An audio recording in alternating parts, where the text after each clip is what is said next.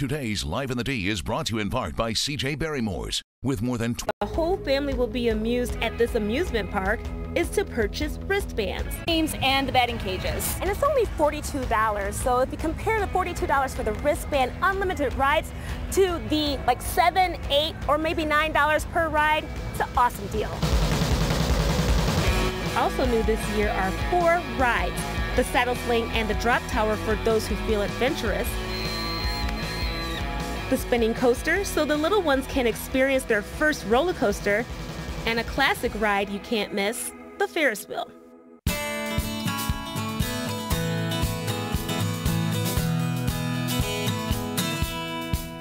So our Ferris wheel is 110 foot tall. We have 24 gondolas, uh, so we can do approximately uh, 100 people uh, per ride.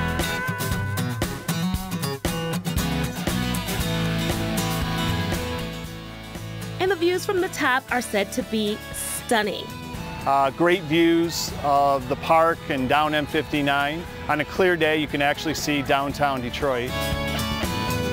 Okay, challenge accepted. We lucked out with a sunny, partly cloudy day, so Michelle and I went around the Ferris wheel a couple of times to check out the view.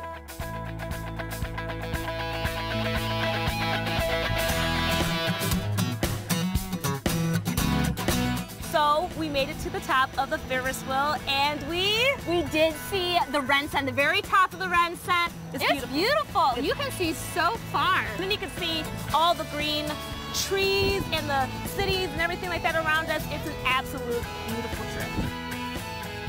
As you can see, if you come to CJ Barrymore's, the sky is truly the limit on these new rides.